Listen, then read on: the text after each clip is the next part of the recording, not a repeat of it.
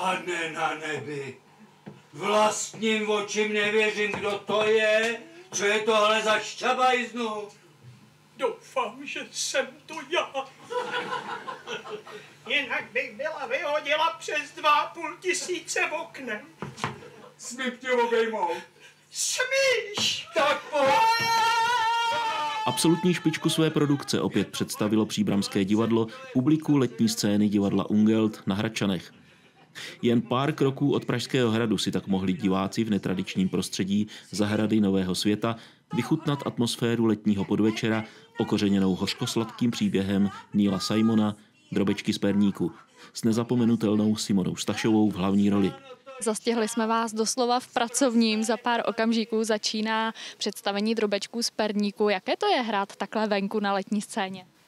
No je to jiný než uvnitř, ale jsem zvyklá, protože už šest let hrajeme s Bolkem Polívkou Veselé paničky Vinsdorské na hradě a už druhým rokem jsme hosty tady na letní scéně divadla Ungelt a je to zvláštní zkušenost. Musíte zkusit všechno. Na tragikomický příběh Evy Mírové, neúspěšné zpěvačky, která se právě vrací z protialkoholní léčebny, měla Simona Stašová podle svých slov políčeno skoro 20 let. Ve spolupráci s režisérem Milanem Schejbalem se jí pak podařilo vtisknout své postavě takovou hloubku a opravdovost, že jí za ně v roce 2007 Herecká asociace odměnila cenou Thálie. Je to jakási zodpovědnost? Ale je, ale je, ale tak já si to zas tak nepřipouštím. Já hraju všechny představení nejlíp, jak můžu a s radostí, s jakou chci hrát. A je celkem jedno, jestli zrovna za tohleto představení jsem byla oceněna, nebo jestli hraju Charlie Valentina, nebo Římské noci, nebo Filoménu Marturano, nebo Poslední ze žhavých milenců. Prostě je to jedno.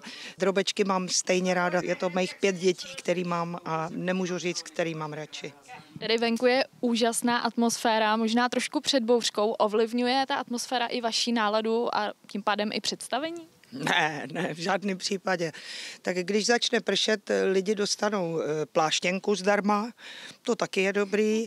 Eh, je léto, takže troška deštíku nevadí a já myslím, že je to zážitek jak pro nás, tak pro diváky.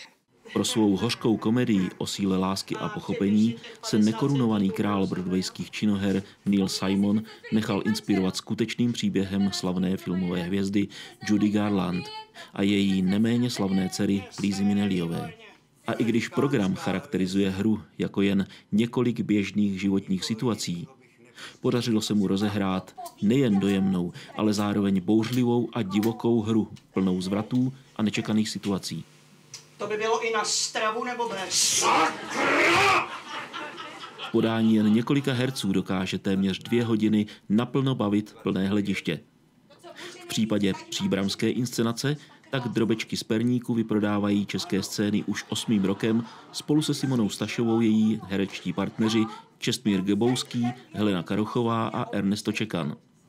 Na letní scéně Ungeltu se s nimi o přízeň diváků ucházeli Andrea Daňková a Filip Cíl. Jaké dojmy si odnesete z dnešního večera? No tak já jsem tady poprvé, tak mně se vůbec líbí moc to prostředí a jsem hrozně spokojená, pak miluju paní Stašovou, takže já určitě velmi dobré. Smějeme se, bezvadný.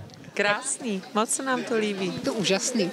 Pouhé tři letní podvečery měli návštěvníci letní scény divadla Ungelt možnost zatleskat hereckému mistrovství Simony Stašové a dalších protagonistů Drobečků z Perníku.